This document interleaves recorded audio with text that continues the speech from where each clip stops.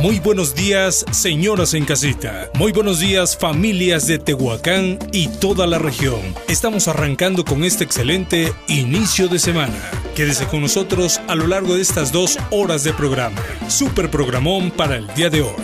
Liz León y Ale Bernal les dan la bienvenida.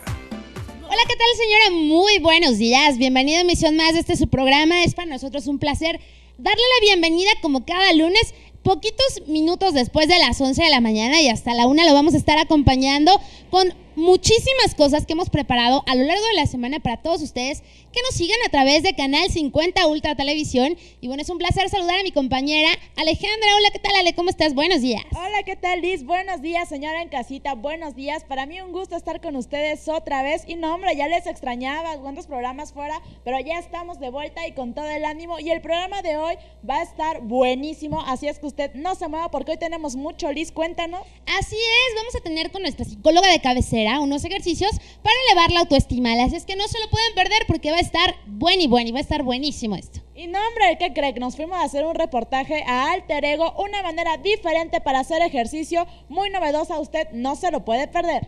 Y bueno, pues también vamos a tener en nuestra sección de esoterismo a Martita Cerda, quien en esta ocasión nos va a platicar acerca de los cuarzos. Usted que nos ha seguido a lo largo de los programas, bueno, pues con nuestra esotérica tan acertada, el día de hoy vamos a platicar acerca de los cuarzos. No, hombre, señora, ¿qué más quiere? No se mueva estas dos horitas con nosotros porque esto es Buenos, días.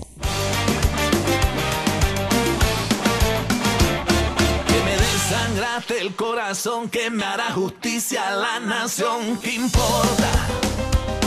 ¿Qué importa? Y que tu vida es como un carnaval que tarde o temprano volverá. ¿Qué importa?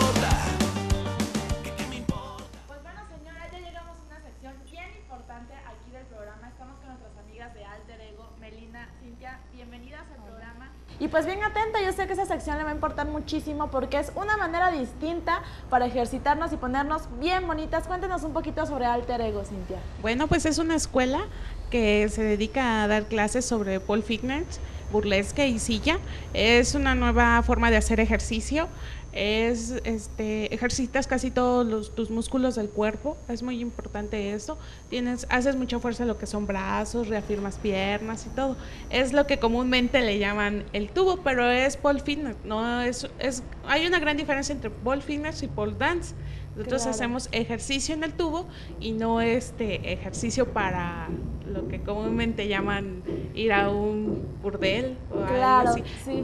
Ya, bueno, aparte de todo esto, para llegar a, hacer esto es un, bueno, es un arte, realmente es un arte llegar a, a lograr eso, porque hace rato, este, bueno, que tomamos la clase muestra, que ya verán ustedes ahorita en el reportaje, realmente yo terminé súper adolorida, entonces muy buen ejercicio, pero para, para todo esto se llevan muchos estudios, Melina. Cuéntanos sobre esos estudios que tuviste que llevar para poder dedicarte a esto.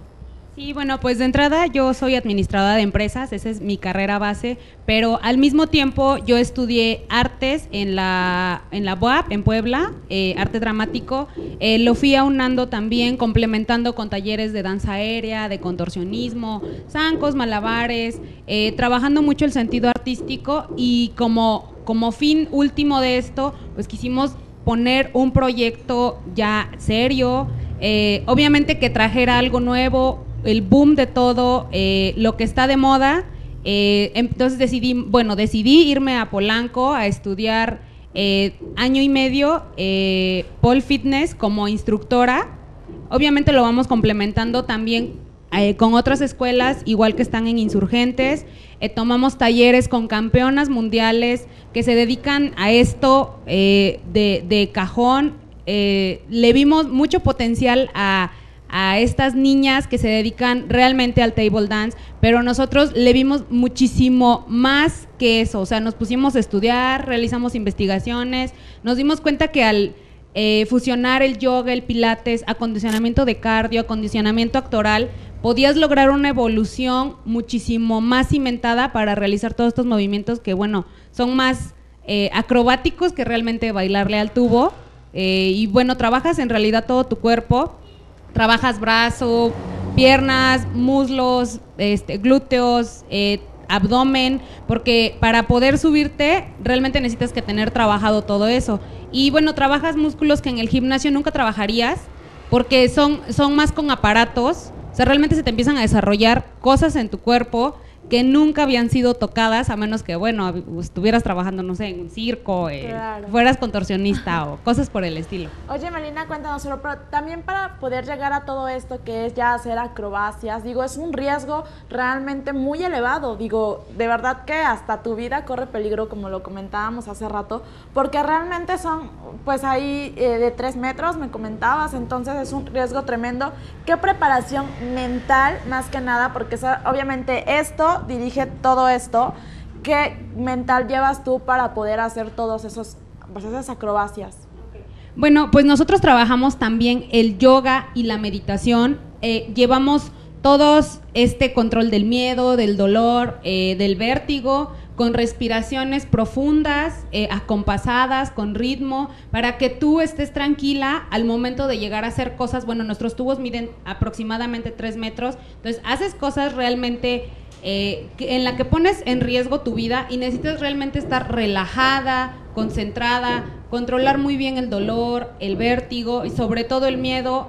Obviamente ya tienes una preparación física, fuerza y acondicionamiento, pero si tú eh, te traiciona el miedo o te, te, te empieza como que a hacer mella el dolor, ahí es cuando metemos las cosas de la respiración, que te digo, trabajamos yoga y meditación. Claro, oye, aparte de todo esto, yo creo que te da una actitud tremenda porque solamente, digo, aprendes a controlar incluso tu sensualidad, ¿no? Usted, señora en casita, ya que si va aquí a Alter Ego, yo creo que aparte de que se le va a hacer un cuerpazo por todo el trabajo y realmente todo lo que suda, ¿qué tanto se desarrolla esa parte sensual, sea pues con el marido o mil cosas, ¿no? Entonces, ese, ese punto aparte de ya el ejercicio físico, como persona, a mí yo voy a, a alter ego y si tengo baja autoestima, realmente esto me lo puede elevar.